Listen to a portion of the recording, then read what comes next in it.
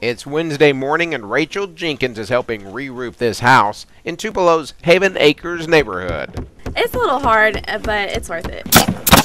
Rachel and these other teenagers paid $250 each to spend a week helping others. It's all part of World Changers, a ministry of the North American Mission Board of the Southern Baptist Convention.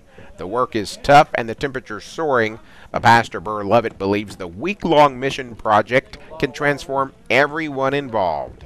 People don't really care how much you know until they know how much you care. Hey guys, just make sure you keep it on the blue line and make sure you let the shingle come down and you know sit right on top of your keys. Pastor Lovett has been making World Changer trips for two decades, and most of these crew members are also veterans. It's a great witness opportunity. Like whenever the people in the community see us working, they come and ask, and it's a great opportunity to tell them about Jesus if they don't know.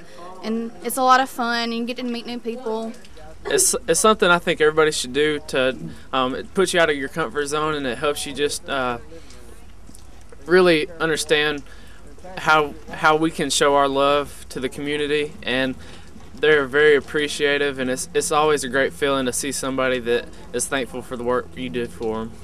Homeowner Catherine Berry says the young workers were an answered prayer. It's a blessing that I'm able to get this help it's probably something I wouldn't be able to do. Each World Changer crew wraps up its on site work every day in late afternoon, but their day is far from over.